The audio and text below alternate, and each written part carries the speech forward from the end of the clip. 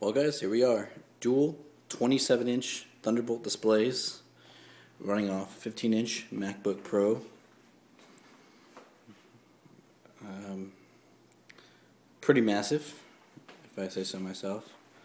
If you want to see how it works from behind, let's start over here at the MacBook Pro where we have a Thunderbolt cable and power cable both running into the first display.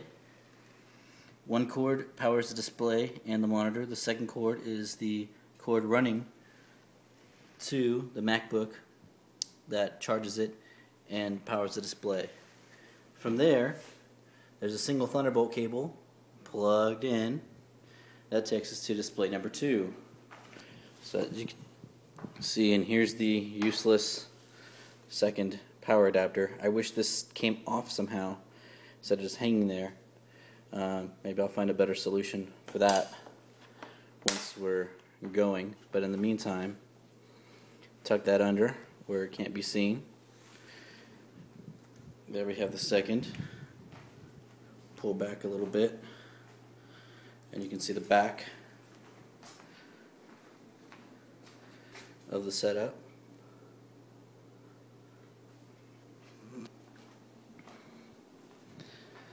I probably need to clean up the wires a bit, but I was a little too anxious to get it going.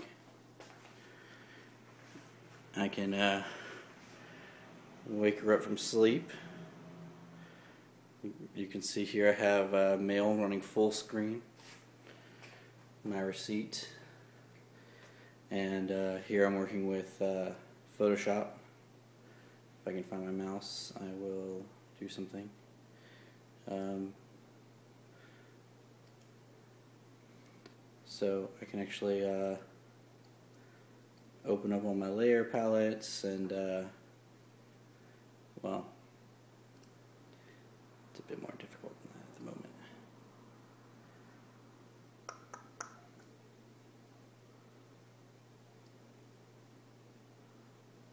There we go.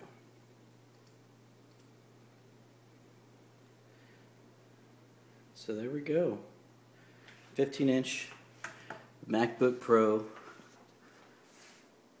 powering two 27 inch LED cinema displays, uh, daisy chained via the Thunder display port, Thunderbolt display port, Thunderbolt port, whatever, via the Thunderbolt cable and still have an extra Thunderbolt cable uh, or outlet right here which should let me attach a hard drive or anything else if I wanted to. I'm interested to see if the uh, time capsule gets updated with Thunderbolt port to make for updating easier. So if they release that then I'll have something to plug into it. In the meantime I don't really need it. I'm waiting for Thunderbolt storage to uh, get a little more advanced. anyway, there we go. Apple Cinema displays. If you have any questions, uh, hit me up in the comments.